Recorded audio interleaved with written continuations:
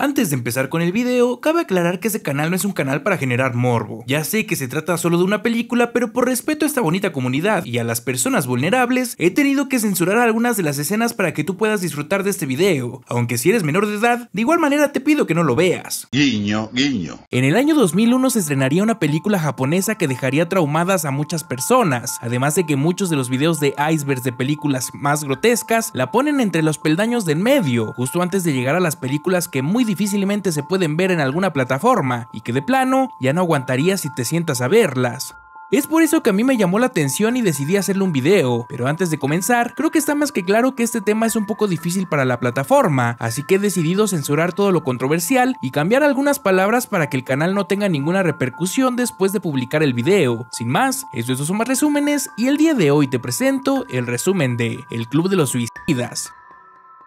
La película comienza un 26 de mayo en el metro de la ciudad de Tokio. Todo parecía un día normal para los miles y miles de trabajadores que hacen uso de este servicio público, hasta que un grupo de 54 estudiantes de diferentes escuelas secundarias hacen acto de presencia y por alguna extraña razón se posicionan todos por delante de la línea amarilla, se toman de las manos y cantando una turbia canción que no sé qué dice porque los japoneses tienen un lenguaje bien raro, se arrojan ya saben dónde provocando una completa masacre delante de los múltiples niños, mujeres, ancianas y demás personas que se encontraban ahí, dejando como única pista de lo que pasó un mar de líquido rojo y un bolso blanco algo sospechoso.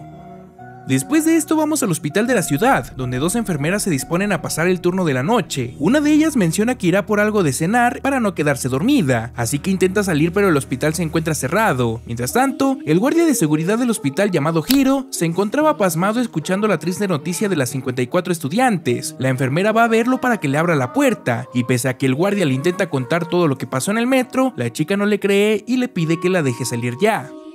Pasan las horas y la chica no vuelve, así que su compañera llamada Yoko le habla para saber si no hay señales de ella. El guardia le dice que no, pero que en cuanto la vea entrar, la avisará. Solo que después de colgar, cuando se asoma por la ventana, la señorita se da cuenta de que hay muchas luces de policía a las afueras del hospital, y en ese momento escuchan ruido algo extraño proveniente de una impresora.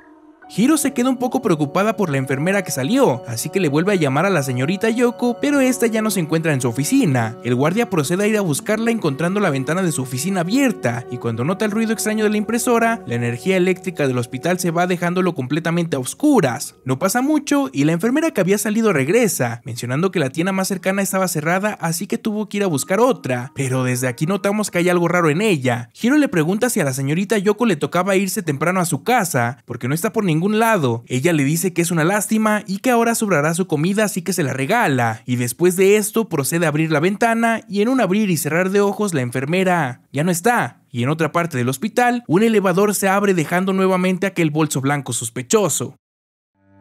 En otra parte de la ciudad, los agentes de policía se encuentran investigando sobre el tema de lo que sucedió en el metro, confirmando que se trataban de 54 estudiantes mujeres provenientes de 18 escuelas diferentes. Lo primero que descartan es que fuera un asesinato, ya que todos los testigos afirman que cada una lo hizo con voluntad. Luego piensan que probablemente se trate de algún culto de automorición, pero antes de que puedan debatir más, reciben una llamada de una mujer un tanto sospechosa, diciéndoles que ha descubierto un sitio web algo extraño. Al enseñárselos vemos que se trata de una página que tiene puntos rojos y blancos. La chica menciona que los puntos blancos son hombres y los rojos mujeres, que al principio no sabía qué significaban, pero que hace algunas semanas cuatro mujeres se automataron sumando cuatro puntos rojos al grupo de las mujeres, y que ahora con lo que sucedió en el metro, 54 puntos rojos más aparecieron. La chica les pide que busquen información sobre quién ha hecho esa página web y que por su lado ella hará lo mismo para ver qué encuentra cada uno. El policía le pregunta cuál es su nombre y cómo puede contactarla, y la chica solo le dice que de hoy en adelante la conocerán como el murciélago, y le da una página web donde puede tener contacto con ella, y antes de colgar, les dice que los puntos solo aparecen cuando las muertes son anunciadas públicamente.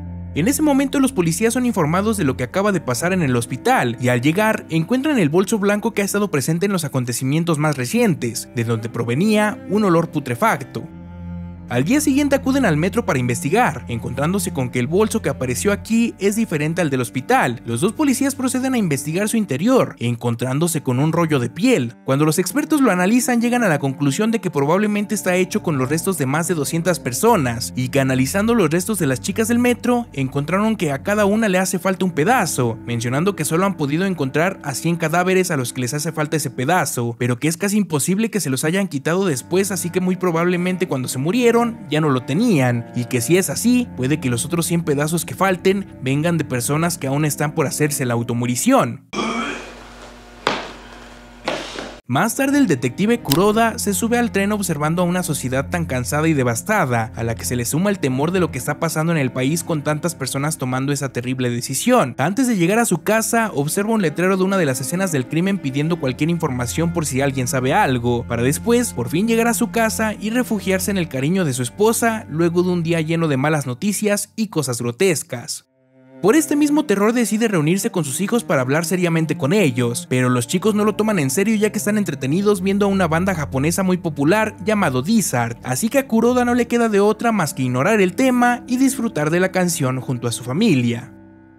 Al día siguiente un grupo de chicos en una secundaria de la ciudad se encuentran platicando y jugando sobre aquel tema, mencionando que no saben por qué ese grupo de chicas hizo lo que hizo, pero que sería bueno fundar un club en honor a ellas. Todo esto para hacer una fiesta con muchas sustancias nocivas para la salud, mucho alcohol y sobre todo mucho frutifantástico y diversión, solo para después terminar replicando lo de esas chicas no solo con un grupo de 50, sino con hasta 100 personas.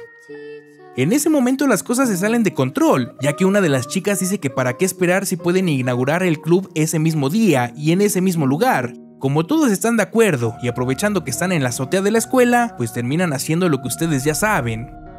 Al final solo una chica decidió no estar, pero al ver que más personas subieron para intentar salvarla, decide solo decirles que ese es el inicio del club de las automoriciones y después de esto termina haciendo lo mismo que sus compañeros. Más tarde la policía ya se encuentra investigando estos hechos y tomando el testimonio de una de las chicas que se encontraba en la azotea cuando sucedió todo esto. Al final los policías mencionan que el tema del club no puede salir a la luz, ya que si lo hace, puede que muchos más jóvenes se vean motivados a repetir y a coger el nombre. Al día siguiente una chica llamada Mitsuko sobrevive después de que su novio quien pertenecía al club le cayera encima, y como la carne del chico coincidía con una de las 200 pieles, la entrevistan a ella ya que piensan que también puede ser parte del club, la chica dice que no, pero como no le creen, le preguntan si a ella también le falta un pedazo de carne, y como vuelve a decir que no y otra vez no le creen, la obligan a desvestirse en frente de otra mujer para que le examine todo el cuerpo, y aquí es donde vemos que la chica tenía un tatuaje de mariposa en el hombro. Antes de que se vaya, el compañero de Koruda llamado Shibu le pide que si llega a saber algo o acordarse de algo no duden en decírselo, ya en la noche Coruda se encuentra cenando con su familia, mientras que su hija menor sigue embobada con aquel grupo musical. No pasa mucho, y su hijo le pregunta sobre qué es lo que sabe del club que se está poniendo popular entre la chaviza, y cuando le pregunta que de dónde sabe sobre su existencia, le dice que hay varios sitios web que están hablando sobre eso. El agente le pide a su hijo que le muestre una de las páginas en donde vio esa información, y descubre que los miembros del club están pidiendo que compartan sus páginas y mensajes para evitar que más personas mueran. Obviamente eso solo es una trampa para que el club sea conocido por personas. Debido a esto deciden enviar una solicitud para entrar en el club, y como no quiere poner a su hijo en riesgo, Coruda decide hacerlo con su nombre y sus datos. Pero en ese momento, el departamento de policía recibe una llamada preguntándole por el policía Coruda, y al saber que no está, le piden al policía que contestó que le diga que no existe ningún club, y que lo llamarán mañana por la mañana. Al siguiente día Kuruda espera la llamada de la chica, pero solo le menciona que no entiende lo que significa el club. Luego le pregunta si está grabando la llamada y si la publicarán en televisión nacional, pero Kuruda le dice que no, ya que no le está dando suficiente información como para hacer eso, y la persona detrás de la llamada le vuelve a decir que no está entendiendo nada. Le dice que esa noche habrá otros 50 jóvenes en la misma estación del tren, que no sabe si serán hombres o mujeres, y que la única pista que le puede dar es la sexta cadena. Kuruda cree que la pista de la sexta cadena se refiere a la numeración del rollo de piel que había en la bolsa blanca, el cual contiene un tatuaje y un color de piel diferente al de los demás. Con esa información la policía acude a la estación del tren para interrogar a las personas jóvenes que vean por ahí, con la intención de evitar la masacre, además de observar y preguntar a las personas que tengan tatuajes. La paranoia de los policías es tanto que algunos comienzan a sentirse mal y otros incluso evitan el acceso al tren a grupos completos de jóvenes que resultan no estar involucrados con el club. Los policías están cansados y creen que lo de la llamada solo solo ha sido una broma, pero Kuruda les pide que solo esperen un tren más para descartar cualquier cosa, pero como llega el tren y nada raro ocurre, pues deciden que es tiempo de irse de ahí. Es aquí donde la película toma un rumbo realmente turbio. El club de las automoriciones se ha expandido y muchas personas comienzan a replicar estas acciones sin importar dónde se encuentran o con quién se encuentran. Desde las personas que lo hacen en solitario como esa chica que se mete en un horno o ese vendedor que se queda dormido por tomar muchas pastillas, hasta estas mujeres que lo hacen en un video para YouTube, esos comediantes que lo hacen en medio de una gira de stand-up o esa madre que lo hace mientras que su familia escucha una canción del grupo Dizard y mientras su hija le pide un chocolate.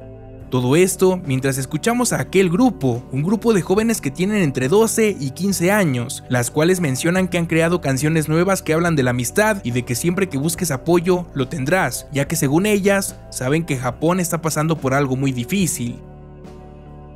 Kuroda regresa a su casa después de su misión fallida y llega tan exhausto que no nota que cuando su hija lo saluda está completamente llena de líquido rojo y cuando se da cuenta es demasiado tarde porque su familia ya no está y en su lugar encuentra un mensaje en su pared que le dice, pista 8, salten acá, dándonos a entender que su familia saltó por la ventana.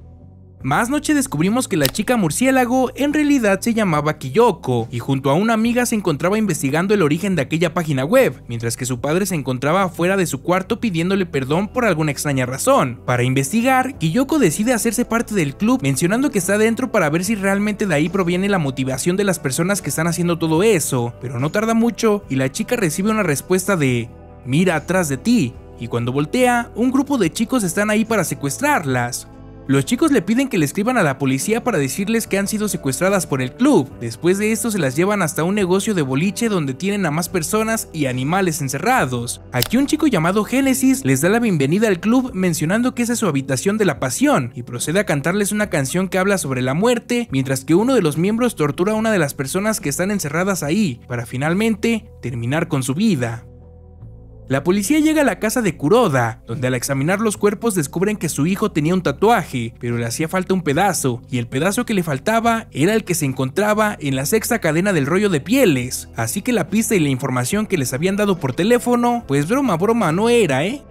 Sus compañeros llegan a la conclusión de que ese caso en particular sí se trataba de un asesinato para lastimar al detective, cosa que no le gusta a Shibu porque les venía diciendo desde el principio que tenían que solucionar el problema rápido antes de que algo más grave pasara. Kuroda se echa la culpa de todo, y en ese momento recibe una llamada de la misma niña que le habló para advertirle lo que pasaría esa noche. Kuroda responde y la niña lo hace cuestionarse en que aunque su familia esté muerta, la conexión que tiene con ellos seguirá viva, pero que si él muere, la conexión consigo mismo se perderá. Luego le repite una y otra vez que es una escoria, ya que todo ese tiempo vio a personas morir sin sentir dolor ni repulsión, hasta que se trató de su familia, y todo esto, y la culpa de no haber podido salvar a sus seres queridos, llevan a Kuroda hacerse la automurición.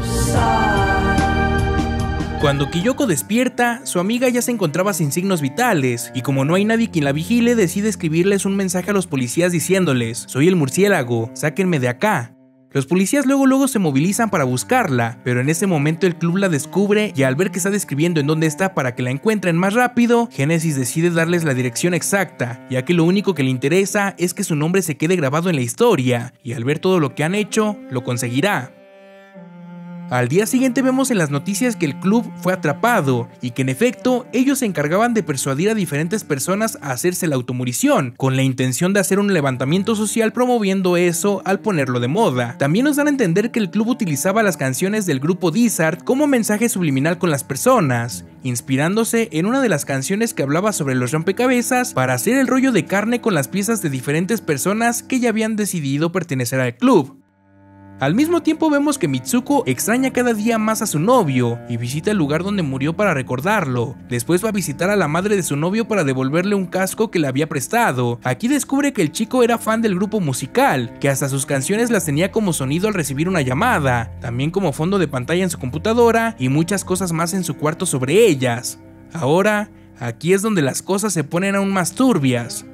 Por si no lo sabías, antes de que los celulares fueran táctiles, tenían teclas, pero para no poner todo el abecedario, pues ponían un grupo de letras en una sola tecla, y dependiendo de la letra que querías poner, tenías que apretar ese número de veces para ponerla. Bueno, pues gracias a un grupo de números que encontró en uno de los pósters del grupo, descubre que se puede escribir la palabra suicidio en el teléfono, además de que al marcar el número de teléfono que se formaba con el póster, te contestaba la misma niña que estuvo hablando con Kuruda para decirle lo mismo que le dijo a él. No existe ningún club.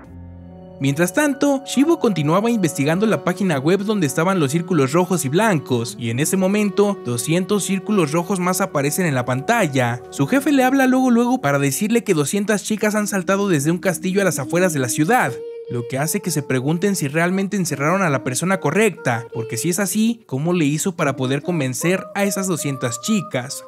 Y como si esto no fuera poco, Mitsuko descubre que la banda Desert dará un concierto masivo al día siguiente, lo que nos asegura que las cosas se pondrán feas. Llega el día del concierto y Mitsuko asiste para intentar evitar cualquier cosa que pueda suceder ahí. La chica se infiltra en los camerinos, descubriendo a un grupo de niños con capuchas amarillas, repitiendo las mismas frases que le dijeron a Kuruda antes de que muriera. Luego se mete hasta el teatro donde será el concierto. Las cortinas se abren y se encuentra con un grupo de niños aplaudiéndole. Uno de ellos le pregunta el por qué está ahí, le pregunta si perdió la conexión consigo misma o si está ahí para buscar esa conexión. Mitsuko les dice que no y que está segura de que está conectada consigo misma los chicos celebran y después de más preguntas raras, el telón se vuelve a cerrar. Luego vemos que Mitsuko es encerrada junto a más chicas con los niños de las sudaderas amarillas y un señor todo feo. Aquí es donde les quitan el trozo de carne para hacer un rollo nuevo y con esto un nuevo club. Más tarde Shibu encuentra a una chica sin signos vitales, sosteniendo otro bolso color blanco. Lo lleva a analizar encontrándose con un nuevo rollo de piel entre las que se encontraba el trozo que tenía el tatuaje de mariposa que le había visto a Mitsuko cuando la interrogaron. La película termina con Mitsuko llegando junto a más chicas a la estación del tren, mientras todas reciben una llamada de sus teléfonos, haciendo que la canción del grupo Desert se escuche en todo el vagón. Pero justo cuando estaban por hacerlo inevitable, Shibu llega para tomarla de la mano y pedirle que no lo haga. Se lleva a la chica, pero la chica se suelta y se vuelve a formar, solo para descubrir que realmente no iban a hacer nada, y todas se meten al vagón como si nada estuviera pasando.